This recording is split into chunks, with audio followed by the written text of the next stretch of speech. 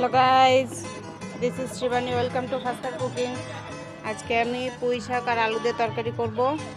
তো, এ দেখো, আমি দু পিস মাছ নিয়ে নিচ্ছি। আর এই মাছটা আমি ভেজে নেব। তো, এতে আমি একটুখানি নুন দিয়ে দিচ্ছি।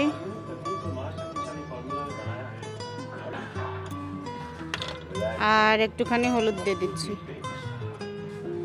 এটা আমি ভালো করে মেখে নিচ্ছি।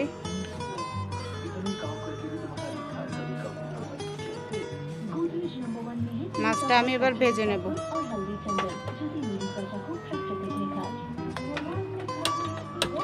গ্যাসটা চালু করে দিয়েছি কড়াটা গরম হতে আমার কড়াটা গরম হয়ে গেছে। আমি এতে তেল দিয়ে দিচ্ছি। দু চামচ মতো তেল আমি দিয়ে দিয়েছি।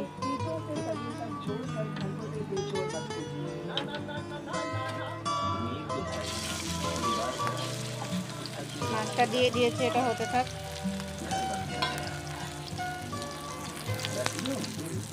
আমার মাছটা এক পিঠ ভাজা হয়ে গেছে, তো আমি এটা পাল্টে দিচ্ছি।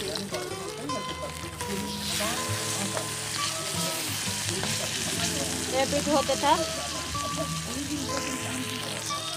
আমার মাছটা ভাজা হয়ে গেছে, তো আমি এটা তুলে নিচ্ছি।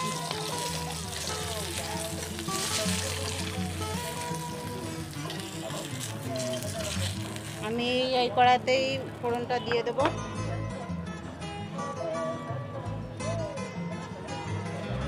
এতে আর এক চামচ মতো আমি তেল দিয়ে দিচ্ছি।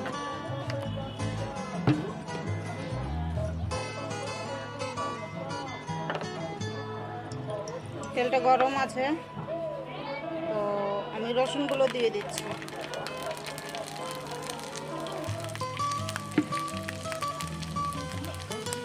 একটা তেজপাতা দিচ্ছি।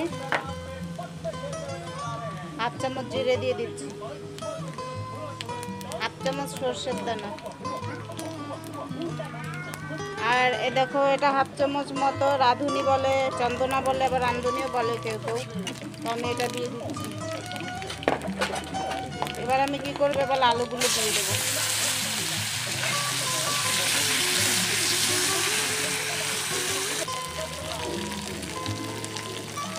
এখানে হাফ চামচ মতো নুন দিয়ে দিচ্ছি। নুনটা আমি একবারেই দেবো, আমি পরে দেবো না।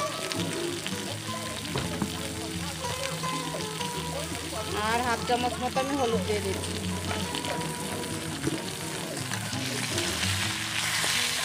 এটা আমি মিক্স করে দিচ্ছি।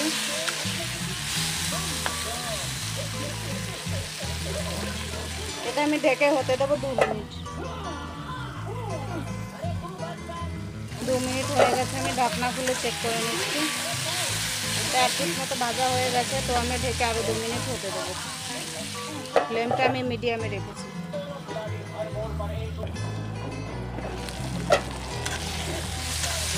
আর আলুটা ভাজা হয়ে গেছে।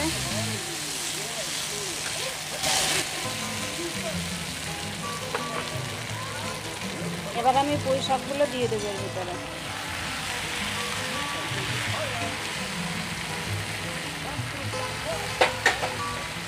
সাথে সাথে একটা কাঁচা লঙ্কা দিয়ে দিচ্ছি।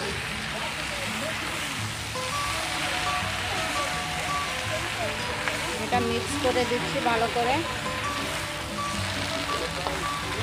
এবার আমি ফ্লেমটা হাইতে করে দেবো।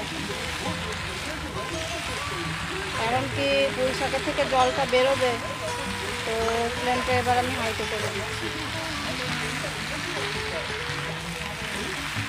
এটা ঢেকে হতে দেবো তিন মিনিট। তিন মিনিট হতে হতে পুঁই থেকে জলটা ছেড়ে দেবে। তিন মিনিট হয়ে গেছে। এই দেখো পুঁই শাক থেকে আমার জলটা ছেড়ে দিয়েছে। এবার আমি খোলা আছে আরও দু তিন মিনিট মতো আমি পাকাবো।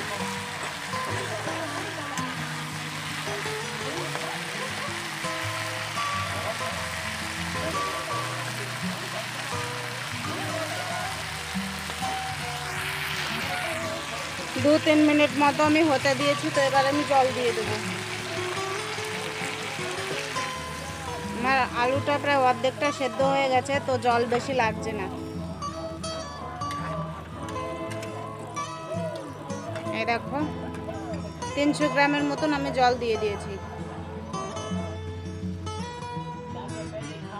তো আমি এবার এটা ঢেকে হতে দেব পাঁচ মিনিট। যত সময় না পর্যন্ত আলুটা গলে যাচ্ছে, তত সময় পর্যন্ত এটা হতে থাকবে পাঁচ মিনিটই হয়ে যাবে। এই দেখো, পাঁচ মিনিট মতো আমি এটা ঢেকে হতে দিয়েছি, তো আমার আলুটা গলে গেছে। একদম এটা আমি কিছুটা ম্যাশ করে দিচ্ছি।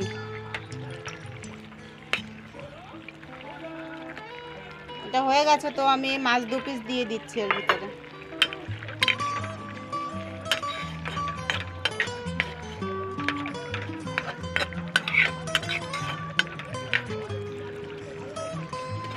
মাছ দিয়েছি, এজন্য আমি ঢেকে আরও দু মিনিট হতে দেবো।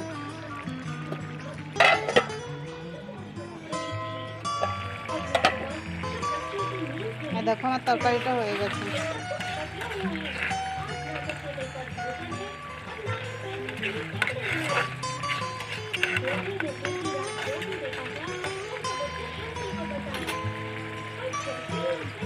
আমি আরেকটু ঝোল কম করব।